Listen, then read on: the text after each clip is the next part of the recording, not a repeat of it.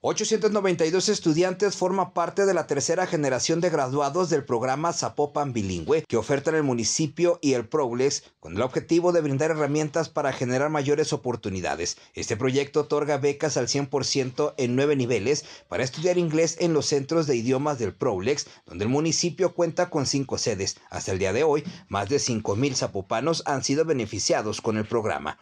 Pese a que el alcalde de Zapopan, Juan José Frangé, reconoció que no domina el idioma inglés porque no contó con los recursos para aprenderlo, aseguró que su gobierno continuará apoyando a los zapopanos, ya que dominar un segundo idioma abre puertas laborales y garantiza mejores ingresos, y agradeció a la Universidad de Guadalajara por el apoyo.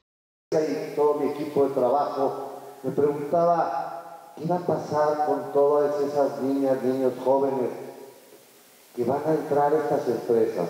Me hablaban los directores de las empresas y me decían, no hay mano de obra, Juan. ¿Cómo no hay mano de obra? Sí, pero no hay mano de obra calificada.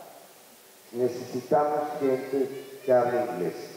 Es por eso que nos pusimos en marcha a lograr este programa. Esto que están haciendo el día de hoy es un gran activo que tienen las niñas, los niños, los jóvenes, los adultos que tomaron este curso. Pero hay que seguirse preparando. Hoy, con esto, cumplen un sueño.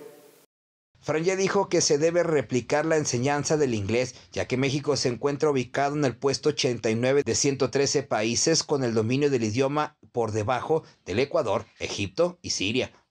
La convocatoria fue abierta para mil jóvenes entre los 15 y 30 años, pero dado el éxito de la primera generación, en la segunda se abrió de 8 años en adelante para todas y todos los ciudadanos. Las inscripciones para esta quinta generación del programa Zapopan Bilingüe se encuentran abiertas y los interesados pueden ingresar a la página adelantezapopan.com. Con las imágenes de Juan Luis Hernández para UDGTV, Canal 44, Pablo Toledo López.